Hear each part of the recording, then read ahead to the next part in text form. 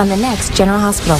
Can use this to destroy you now, Claudette. I haven't been totally honest. I think that we should take action. If you need to go on without me, you should. I need you in my office ASAP. I don't think I can do it. What do you want, Sonny?